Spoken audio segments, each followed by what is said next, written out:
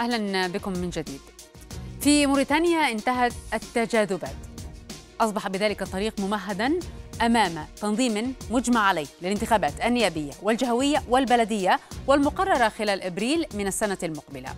وذلك بعد أن وقع وزير الداخلية اتفاقا مع رؤساء وممثلي 24 حزبا سياسيا من أصل 25 حزبا مرخصا ينص على الإجراءات التنظيمية الخاصة بالاستحقاقات المقبلة. الاتفاق الذي تم التوصل إليه ينص على اعتماد نظام النسبية في الانتخابات إضافة إلى إشراك ممثلين عن ذوي الاحتياجات الخاصة في المجالس المنتخبة كما أوصوا بتمكين المغتربين. اتفق الأطراف كذلك على تحديد سقف أعلى لتمويل الحملات الانتخابية ووضع آلية مناسبة تحد من استخدام المال السياسي وشراء الذمم.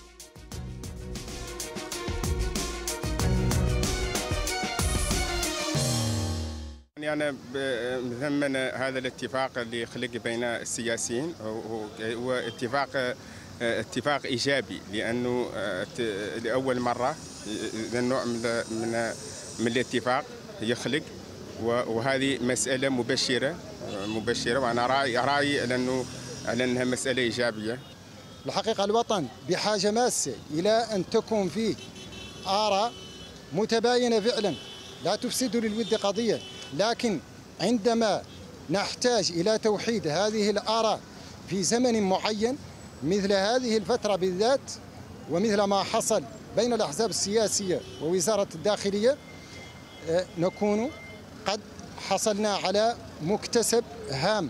اتفاق مهم مثل لا يوخر البلد شعور اجماع بين جميع الأحزاب السياسية وجميع الطيف السياسي سواء الموالاه معارضه اتفاق على على على على, على تنظيم انتخابات وطريقة تنظيمها واللجنة الانتخابية ومسلسل ديمقراطي واخا موريتاني من الأحكام من الأزمات اللي اللي اللي متالي عليها. غياب بعض الحركات الموجودة على الميدان الحركات السياسية خصوصا الحركات الشبابية وأيضا الحركات الحقوقية وأحد الأحزاب ال 25 مرخص لها بدخول الانتخابات والذي قاطع هذا الاتفاق بطبيعة الحال يبقى ذلك ثغرة في الديمقراطية الموريتانية، لكن بشكل عام يعتبر هذا الاتفاق إيجابي لأن جميع الأحزاب قدمت تنازلات في الحقيقة ووزارة الداخلية حاولت أن تجمع كوكبة من الأحزاب والزعامات السياسية لتوقع على اتفاق يعتبر شبه تاريخي في المرحلة الحالية لإدارة انتخابات 2023. الوثيقة التي صدرت عن وزارة الداخلية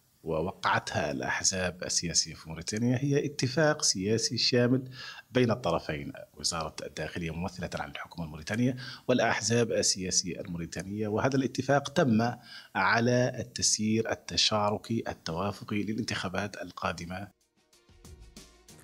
وينضم إلينا ضيفانا من نواكشوط مختار منيارة مستشار رئيس اللجنة الوطنية للشباب. أهلا بك. ونور الدين محمد المنسق العام بمشروع إلى الأمام موريتانيا. أهلا بك. سيد مختار يعني كيف تقيم هذا الاتفاق ما بين الحكومة ومعظم الأحزاب تقريبا؟ يعني أو 24 حزب من أصل 25 بسم الله الرحمن الرحيم. بالبداية أشكر قناة القد على إتاحة هذه الفرصة.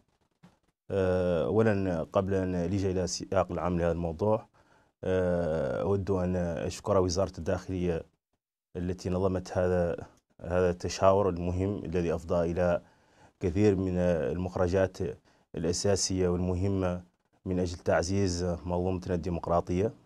هذا الاتفاق كان اتفاق ناجح جدا وكان مهم لأن جميع الأطراف السياسية توصلت إلى اتفاق معين يفضي إلى تنظيم انتخابات تكون شفافة ونزيهة وجميع الأطراف السياسية كانت حاضرة حضرت لهذا التشاور لبت الدعوة 24 حزب سياسي من أصل 25 حزب وهذا يدل على أن هنالك شبه إجماع من طرف جميع الأطراف السياسية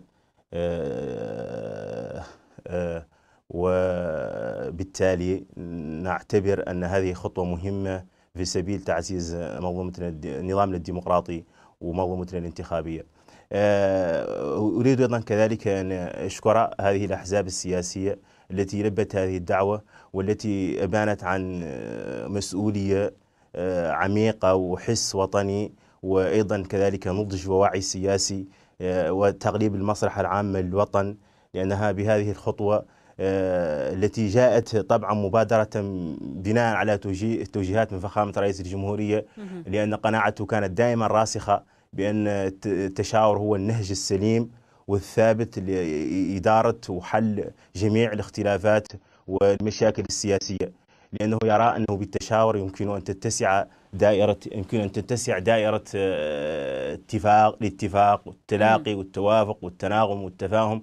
كما أيضا كذلك يمكن أن تتعزز الثقة ويترسخ الاحترام المتبادل والاعتبار وبالتالي تنتصر المصلحة العامة للوطن على تلك الاعتبارات الضيقة نعم. الفئوية طيب. أيضا كذلك رئيس الجمهورية لم ي... طيب دعني آه، آه، يعني نعم أخذ كذلك تعقيب رئيس الجمهورية لم ي... تعقيب من من السيد آه، آه، نور الدين آه، على آه، هذا الاتفاق يعني كيف ترى؟ طيب شكرا بسم الله الرحمن الرحيم آه، شكرا للقناة على الاستضافة أهلا. الحقيقة أن هذا الاتفاق آه، هو حدث آه، مصنوع آه، يعني مصطنع. هو ليس يعني بالمستوى الذي تتوقعونه ويستحق أن يكون موضع اهتمام بهذه الدرجة. حيث أن التفاصيل الشيطان يكمن في التفاصيل كما يقولون. الحقيقة أن النظام الحالي منذ وصول الرئيس الحالي للسلطة قبل ثلاث سنوات كان ينادي بحوار شامل حوار سياسي. وليس حوار بين الأحزاب السياسية على آليات انتخابية فقط بل حوار يناقش الأمور الكبرى الوطنية القضايا الأساسية من الوحدة الوطنية ومن العدالة ومن فصل السلطات ومن التعليم وإعادة النظر في النظام الصحي وأمور كبيرة. هذا النظام حقيقته أنه أنه أنه لم أنه فشل في في إعداد في العمل على حوار تم نقاشه آه، آلياته وشكلت هيئات ووقعت نقاشات قبله كحوار سياسي. أعلن فشله مؤخرا بين ما يسمى بالمعارضة وما يسمى بالموالاة وكان النظام مشرفا عليه. هذا الفشل هو الذي أدى إلى محاولة أخرى من تقليص أو تقزيم آه، الحوار تقليص تحويله إلى حوار في أروقة وزارة الداخلية بين ما يسمى بالأحزاب السياسية المرخصه أو ما تبقى منها وهو ما أشار إليه ضيفكم الآن بأنه يشكل شبه إجماع وهذا خطأ فادح لأنه إجماع على ماذا؟ الحقيقة أنه قبل ثلاث سنوات من الآن أو أربع كان هناك 105 أحزاب سياسية تم حل ما يزيد على 70 منها بقوة القانون الموجود الحالي، لكن القانون الموجود أيضا قوته تؤدي إلى ترخيص الأحزاب السياسية في مادته 12 التي يخرقها النظام الحالي وبالتالي يخرق مقتضى مقتضى دستوري ألا وهو التعددية الحزبية أي حق المواطنين في التحزب وهذا ما لا يلتزم به النظام الحالي متمثلا في وزارة الداخلية التي تبتدع هذا الحوار الحالي الذي ربما تطرق لمحسناته حتى نكون آه، آه، مسائل الحسن لكنه المسألة برمتها مبنية على باطل وهو خرق الدستور.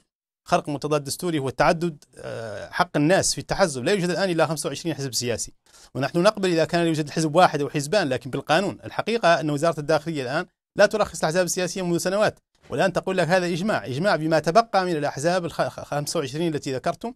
قاطع واحد منها وبقيت 24 16 منها تابعة للحكومة مهم. حقيقة 16 من 16 حزب سياسي هي تابعة للحزب الحاكم والحكومة معناها أحزاب الموالاة البقية أحزاب معارضة بعضها معارضة قديمة م- ثلاثة أو أربعة أحزاب والبقية كلها تدور في فلك النظام وبعضها يدعي أنه معارض وهو أقرب للموالاة بعبارة مهم. أخرى آه، الخارطة السياسية مشوهة في موريتانيا منذ سنوات بل ربما منذ عقود لكن الآن في تشوه جديد وهو أن هناك خارطة لا تمثل أصلا المواطنين الموريتانيين فلو سألتم الناس في الشارع الموريتاني بشكل موضوعي ستلاحظون انه لا يهمهم هذا إنما يهم زيادة الأسعار نعم. وزيادة أسعار الوقود ب- بأكثر من 30% مع تراجع الأسعار آه، فساد الصحة وفساد التعليم طيب. وانخرام الاقتصاد وعد. وتهافت الآمال الحقيقة أن ما حدث في الآن سأجيبكم عن سؤالكم سريعا فيما يتعلق بما آه، بما وصل إليه حوار وزارة الداخلية مع بعض الأحزاب التي ارتضت هي أن تكون محاورة لها، كما أشار أحد المشاركين في روبورتاجكم هناك قوى شبابية كثيرة جدا وهناك أحزاب أصلا كانت موجودة وتم حلها بالقانون لكنها نعم. طعنت عند طيب المحكمة يعني العليا. آه، هذه العليا حكمت لها لكن ترفض ذلك. لائحة الشباب. نعم. يعني آه، أيوة. هذا ما أرغب بالتساؤل آه، بشأنه مع السيد مختار. يعني هذه من بين الانتقادات آه، آه، وجود آه، لا يتجاوز عدد مقاعد الشباب 11 مقعدا. كيف آه، يعني آه، آه، ترد على آه، هذا الانتقاد في آه، هذا النظام الانتخابي الذي آه، يعني أجمعت عليه ال 24 حزب؟ أريد فقط أن أذكر الضيف الكريم أن هذه الأحزاب ال 25 المرخصة هي الأحزاب التي معتمدة في في في في في عند وزارة الداخلية لأنها كانت هنالك حوالي حدود 100 أو 110 أحزاب ما يزيد على 110 أحزاب وقد حلت سب- 76 من حزب. وقد طعنت 20 حزب وبالتالي بعد في الأخير توصلنا وجو- 25 حزب سياسي فقط. هي الأحزاب المرخصة في, في الوطن. وهنالك أيضا ما يزيد على 80 ملف حزب سياسي عند وزارة الداخلية. آه، هنالك شروط. وزارة الداخلية لا ت- تعطي الترخيص ولكن هنالك شروط ومعايير. وضعتها وزارة الداخلية من أجل أن يكون للأحزاب السياسية معنى ومدلولا في موريتانيا. هنا- هنالك فوضوية في الأحزاب وفي آه، وضع ملفات إيداع ملفات الأحزاب. كل من هب ودب يريد أن يشكل حزب سياسي فقط يحصل على 25 شخص وبالتالي يريد أن أن يشكل حزب سياسي. وهذه فوضوية لا ينبغي أن تتكرر لأنها ليست ظاهرة صحية ديمقراطية الديمقراطية يعني وجود أحزاب سياسية مبنية على تصورات معينة واضحة. يكون لديها تصورات أمنية وتصورات سياسية وتصورات اجتماعية وأخرى اقتصادية لأنها تريد أن تحكم البلاد. ومن يريد أن يحكم البلاد عليه أن يكون أن يكون آه، مكتمل الشروط. هذا من ناحية. أما ما يخص آه، تلك المخرجات التي تمخضت عن هذا عن هذا التشاور المهمة والأساسية فهنالك آه، اولا آه، اعتماد النسبية المطلقة في الانتخابات البلدية والجوية. وهذا كان مطلب أساسي لأن كان اللوائح كانت هنالك لائحه ولائحتين فقط هم المستفيد من هذه من التمثيل في الانتخابات البلدية والبرلمانية. جميع اللوائح أو أغلب اللوائح الآن تستفيد من التمثيل في الانتخابات البلدية والجهويه كما كان تم أيضا زيادة نسب- النسبيه في في المقاعد البرلمانية من نسبة 45% إلى 50 50% تم كذلك نعم. إحداث لائحة للشباب. 11 11 شابا آه، سيلج إلى البرلمان وهذا لأول مره لأول مرة في تاريخ البلاد. وكان مطلبا اساسيا للشباب. لم هذا المطلب لم يتحقق إلا في هذه الفترة. نعم هنالك أيضا دمج للأشخاص المعاقين. الأشخاص المعاقين. تلك اللائحه هذه اللائحة التي تحتوي على 11 شاب ذكورا وإناث ينبغي أن يكون على الأقل فيها مقعدين لاشخاص ذوي احتياجات ذوي احتياجات خاصه هذه بداية. كما أيضا كذلك تمت أيضا لأن فخامة رئيس الجمهورية نعم. كان حرصه كان يعني حرصه يعني دائما آه، على ترسيع هي دائرة لتمثيل مختلف وأيضا شفافية الفئات سيد مختار. فقط نعم يعني كلمة هي, هي كلمة محاولة. كلمة فقط أخيرة. تفضل. كلمة فقط أخيرة. هي هنالك هنالك أيضا هنالك أيضا نية صادقة لدى فخامة رئيس الجمهورية لأن الانتخابات كثيرا ما تعاني من الشفافية، لا بد أن تكون الانتخابات شفافة ونزيهة من أن يكون هنالك من أجل أن يكون هنالك استقرار سياسي، فخامة نعم. رئيس الجمهوريه حرص كل الحرص على شفافية الاقتراع وذلك عن طريق وذلك عن طريق جمله من الإجراءات، إعادة تشكيل اللجنة المستقلة للانتخابات، تكون لجنه مستقلة للانتخابات، ليس لاي يعني أحد سلطه عليها. ثانيا يعني أيضا كذلك سيتم تم اختبارها في, هذه الانتخابات. لكن نحن نتحدث الآن عن بنود. هذا القانون هنالك هذا النظام سيد مختار أعتذر يعني لضيق الوقت آه، آه، هنا آه، التعقيب من سيد نور الدين.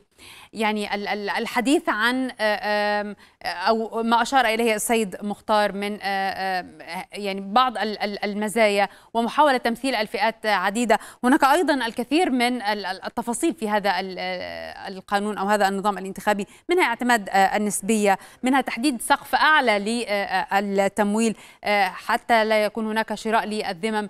يعني تعقيبك على آه، هذه البنود التي آه، تحاول آه، أن يعني تضمن الشفافية في هذه الانتخابات. شكرا سيدتي الكريمة. هو لا شك أن هناك بعض التحسينات هذا لا. يختلف عليه اثنان لكنها تحسينات على أرضية من الباطل ومن الظلم أصلا التي حاول زميلك ضيفكم أن يدافع عنها باعتبار أن هناك فوضوية يجب أن لا تنبغي. لكن نحن نتكلم عن خلق قانون أن هناك قانون ساري المادة 12 فيه تقول أن يجب أن نجيب آه، الناس التي طلبت التحزب سياسيا وهذا ما تخرقه وترفضه وزارة الداخلية. لكن لسنا إلى ذلك الآن. أنا أريد أن أقول أدخل معكم في جوابكم على سؤالكم. آه، من الذي قال أن الشباب ينبغي أن يكون ممثلا ب 11 مقعد فقط؟ والشعب الموريتاني أكثر من 70% منه حسب تقارير الأمم المتحدة شباب. كيف يمثل الشباب ب 20 في حين هناك قوائم للنساء وللكهول وللرجال تتجاوز ال 20 ك- ما هو المنطق الذي بنيت عليه هل يمكن لضيفكم الكريم أن يقول لي المنطق الذي بنيت عليه 11 مقعد؟ ثانيا ما, ما, ما الذي جعل ما, ما, ما هو ما هي الحكمة وراء ربط آه، أو حجز مقعدين لأولي الاحتياجات الخاصة رغم أننا نرحب باستفادتهم وولوجهم للمناصب السياسية؟ لكن ما اين أين هناك مكان في العالم يربط بين الشباب الذي هو قوة حية وتتميز بالصحة والعافية عادة وبالقوة البدنية؟ ما معناه ما هو المنطق الذي بني عليه ربط آه، مقعدان مقعدين آه، ل- ل- م- آه، خصم مقعدين آخرين من 11 التي لا تكفي أصلا للشباب. حجزها لل- لل- لل- لأولي الاحتياجات الخاصة. ماذا معنى هذا؟ ما معنى أن مدينة نواكشوط التي هي عاصمة العاصمة السياسية لموريتانيا نتكلم الآن معكم منها التي يوجد بها ثلث سكان البلد وهي لا وهي لا تمتلك آه، إلا نحو 10% من التمثيل في البرلمان على. سبيل المثال. طيب. ما معنى هذا؟ يعني أنا يعني إذا هي جملة من الانتقادات التمثيل آه، القبلي آه، والت- يعني لا تنفي أن هناك تحسين كما ذكرت ولكن يعني هذه الانتقادات أكيد لكنه بسيط جدا وشبه معدوم مقارنة بما يعني ننتظره. ومطروحه للنقاش في يعني حلقات قادمة من هذا البرنامج. أشكرك شكرا جزيلا سيد نور الدين محمد والمنسق العام بمشروع إلى الأمام. موريتانيا. والسيد مختار منيارة مستشار رئيس اللجنة الوطنية للشباب. شكرا جزيلا لكما.